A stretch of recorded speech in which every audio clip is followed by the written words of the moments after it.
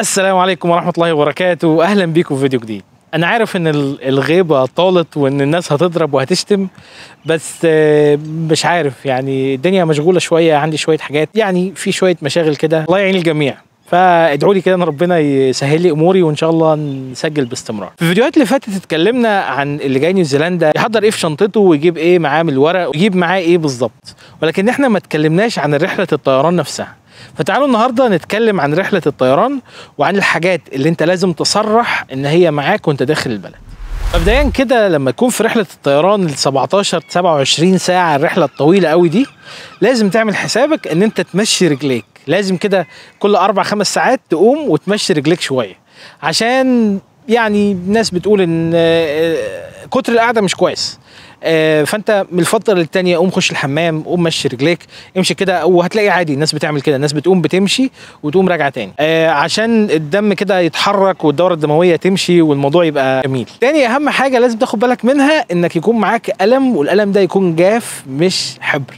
لأن أنا في آخر رحلة لما كنت رايح اليابان وأنا في الطيارة بفتح القلم الحبر أول مرة آخد معايا بقى قلم في, في الرحلة وبملى البيانات فبفتح القلم الحبر انفجر في وشي وإحنا على الطيارة لأن إحنا كنا على ارتفاع عالي فالقلم مضغوط والحبر مضغوط ف يعني كان كانت غلطة إن أنا كان معايا قلم حبر فيبقى يكون معاك قلم جاف. طب أنا كنت بملى إيه أصلا؟ أنت محتاج القلم ده في إيه؟ لما تكون على الطيارة تقريبا في آخر الرحلة أو في أول الرحلة هتلاقي المضيفة بتجيلك وتسألك عن الجواز بتاعك تشوف إن أنت مش نيوزيلندي تديك مجموعة من الورق بتختلف على حسب الجواز بتاعك. المهم إن إحنا كمصريين بناخد ورقة الإفصاح إنك بتفصح عن الحاجات اللي معاك الحاجات اللي أنت جايبها معاك. ومن الظريف بقى إن زمان لما كنت في السعودية كانوا الناس وإحنا على الطيارة بيقعدوا يتريقوا ويقول لك هو في لسه دول في العالم تخلي الناس تملى الفورمة طب ما هم عندهم كل البيانات طب مش عارف إيه. الظريف إن نيوزيلندا وأنت داخل بتملى فورمة وأنت خارج بتملى فورمة. صحيح هو موضوع وانت خارج ده تقريبا لغوه بعد ما أنا جيت ولكن ما هي كل دول العالم بتعمل اهو نيوزيلندا بتخليك تملى فورمة.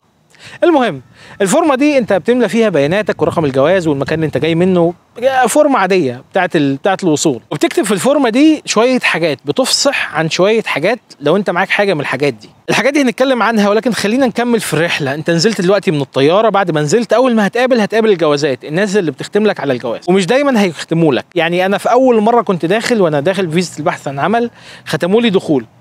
وبعدين مشيت. وأنا ماشي من البلد ما ختموليش خروج. وأنا راجع تاني ما ختموليش دخول. وبعد ما خدت الإقامة تقريبا ما بقاش يختموا خالص. فموضوع الأختام ده هم برضو لسه الدنيا بتتغير فيه مش واضح ولكن هم مش دايما هيختموا لك. فمش معنى إنك ما اتختملكش إنك ما دخلتش البلد أو ما خرجتش من البلد. لا المفروض إن بياناتك عندهم على ال system. بعد ما تعدي الجوازات هيقابلك صناديق زبالة. صناديق الزبالة دي المفروض إن هي أنت بترمي فيها حاجات معينة ده هيكون موضوع الفيديو الجاي. فخلونا نكمل ونروح نجيب الشنط الأول. هتروح للسير الجميل هتلاقي الشنط يعني مفيش سيور كتيرة والمطار نفسه مش زحمة قوي. هتقوم واخد الشنط بتاعتك وداخل على الجمارك. طبعا أنت خلاص ختمت فخلاص أنت كده أصلا جوه البلد ناقصك بس إنك تعدي من الجمارك. وأنت رايح الجمارك هتقوم اديله الكارت بتاع الإفصاح وتبدأ تتكلم معاه. تعالوا بقى نقول إيه الحاجات اللي أنت محتاج إنك تفصح عنها وأنت داخل البلد. مبدئيا أنت عايز تفصح عن أي أدوية معاك لو كانت جرعة الدواء ده آه، أكتر من 3 شهور أو 3 شهور. يعني أنت معاك كمية كبيرة من الدواء معاك جرعة كبيرة فأنت لازم تقول الجرعة دي أنت واخدها ليه؟ ويكون معاك طبعا prescription ويكون معاك prescription اللي هي الروشتة بتاعت الدكتور اللي وصف لك الدواء ده. فأنت هتتكلم مع ال officer وأنت بتديله الورقة بتقول له آه أنا معايا الدواء والدواء ده عشان كذا وكذا وكذا وهتوضح كل الكلام ده. النقطة الثانية إنك لو معاك أي حاجة من الممنوعات إن هي تدخل البلد لازم تكون رميتها مسبقا أو تديها لل officer تقول له يا officer أنا معايا حاجات ممنوعة خدها ارميها. لأنك لو ما رميتهاش هتحطك في مشكلة. لو معاك أي مشروبات كحولية لازم تفصح عنها لأن في limit معين وبعد كده بتدفع عليه ضرائب. وكذلك ال... طبعا ربنا يعافينا ويعافيكم بس يعني دي حاجة من الحاجات اللي هم بيسألوا عنها. زيها زي السجاير. ليك limit 50 سيجارة أو 50 جرام من ال tobacco وبعد كده بيبدأوا يحاسبوك آه، يدفعوك ضرائب على الكمية الزيادة؟ ولو ما أفصحتش هتحط نفسك في مشكلة. أي منتجات غالية غالية قوي يعني إجمالي ما يتخطى ال 700 دولار. مش هتخسر حاجة لما تقول للراجل لو أنت جاي لو أنت جاي أول مرة وجاي معاك مثلا آه، كام لابتوب وكام مش عارف إيه مش هتخسر حاجة إنك تقول له أنا معايا الحاجات دي. هم لا هيغرموك عليها ولا هيحاسبوك عليها ولا أي حاجة. بس هي المهم إن أنت تقول إن الحاجات دي معاك. الحاجات اللي أنت جايبها للبيزنس شايفين الناس اللي هناك دول؟ ندى ندى ندى تعالي تعالي. هو أنا لو بوظت لبابا الفيديو ده هيزعل مني؟ هتعمل بايك من ورا الكاميرا ينفع؟ لسه في دولة هو بيصور كده. هيزعل جامد؟ شوية حاجات. لو هيكون زعلان. بس مش هيقول لك إيه ده؟ بجد؟ هيزعل بس مش هيقول لي نكمل في الرحلة. طب نزلت كده؟ دلوقتي من الطيارة بعد ما نزلت أول ما هتقابل أعمل هتقابل كده؟ الجوازات. الناس اللي بتختم لك على الجواز. نعمل ومشان يعني الناس بتقول إن آه، كتر القعدة مش كويس. الحاجات اللي انت جايبها للبيزنس. شايفين الناس اللي هناك دول؟ شايفين الناس اللي هناك دول؟ الحاجات اللي انت جايبها للاستخدام للاستخدام ال business. يعني آه، الحاجات ال commercial. يعني جايب معاك مثلا آه، 50 علبة حاجة. جايب معاك 100 آه، ورقة آه، مش عارف إيه. الحاجات دي اللي انت تستخدمها استخدام commercial لازم تفصح عنها وتقول ان هي معايا. أي كاش يتخطى ال 10000 دولار نيوزيلندي. لأن ال 10000 دولار أمريكي بيعادلوا تقريبا 15000 دولار نيوزيلندي. فأنت لو معاك أي فلوس كاش لازم تفصح عنها لو هي بت- بتتخطى ال 10000 دولار نيوزيلندي.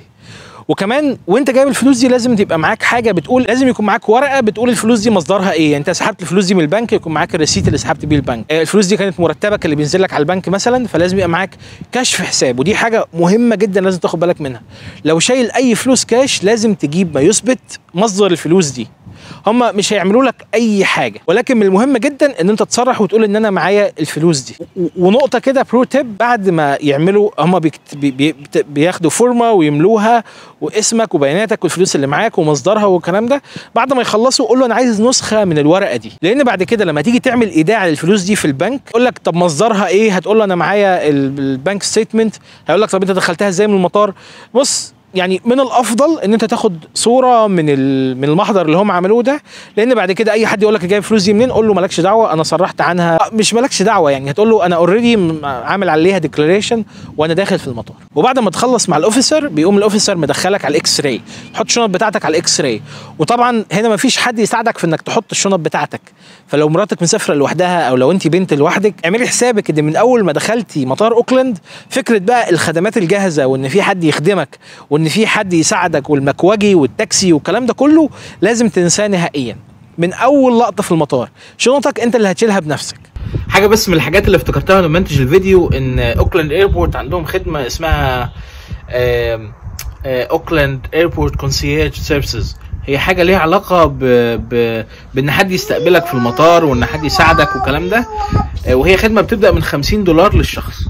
هسيب لكم برضو تفاصيل عنها آه، في صندوق الوصف. هتقوم شايل الشنط حاططها على المكنة وال- والشنط دي تعدي في إكس راي فهيكشفوا عن الحاجات اللي فيها. لو اكتشفوا إن في حاجة من الحاجات اللي إحنا اتكلمنا عنها أنت ما صرحتش عنها وقلتها للأوفيسر في اللحظة دي هتتغرم غرامة بداية من 400 دولار نيوزيلندي إلى ما شاء الله. على حسب بقى إيه ما هم ما يشوفوا. فلازم لازم لازم تقعد مع الأوفيسر وتتكلم معاه. هتقول له آه أنا معايا مثلا آه، جزم مش عارف إيه. وأنت جاي في الأول هتكون لسه مش عارف إيه الحاجات اللي مناسبة وإيه الحاجات اللي مش مناسبة. فاتكلم معاه. خد وقتك مع الأوفيسر وابدأ اتكلم. قول أنا معايا كذا ومعايا كذا ومعايا كذا. وهم بيكونوا ناس لطاف جدا ومستعدين إن هم يسمعوك. بس يا سيدي ده كان فيديو الأسبوع ده. والأسبوع الجاي إن شاء الله هنتكلم عن الحاجات اللي أنت ما ينفعش تجيبها البلد أساسا. تعالي تعالي تعالي تعالي. ندى جاية تقول لكم حاجة مخصوص. تعالي ابا هشيلك هشيلك. ندى عايز تقول لكم حاجة. وفي نهاية هذا الفيديو ما تنسوا من ال like وال share و subscribe bye bye. ما تنسوش ترنوا الجرس. ما تنسوش تفعلوا زر الجرس عشان دايما يجي لكم كل جديد. والسلام عليكم. حاجة من الحاجات اللي كنت مستنيها الصراحة موضوع العجل اللي بيتأجر العجل الإلكتروني ده.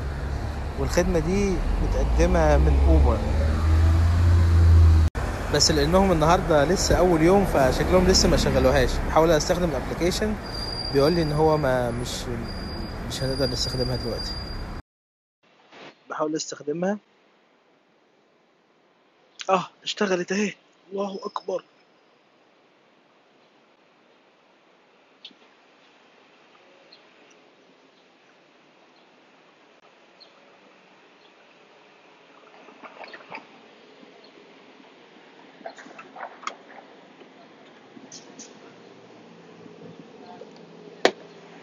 طبعا ال- البتخوذه بوظت لي شعري بس هي الفكرة في إيه؟ في إن العجلة دي جامدة جدا. هي الجميل فيها إن هي أنا بقالي فترة كنت عايز أجرب العجلة ال- العجلة الكهربائية. فدي كانت تجربة جميلة إن شاء الله لأني بفكر اجيبها عشان أستخدمها في مشوار الشغل.